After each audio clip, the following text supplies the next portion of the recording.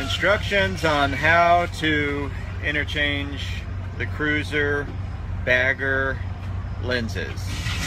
Pop out from the inside out, push out like this. When you're replacing the lens, simply take it from the opposite way, from the inside out, put it into the groove like this, put some pressure down on it, and snap it in, just like that. Again, push out from the inside, push out. You're replacing it, from the outside in. Like this, take the corner, and you're done.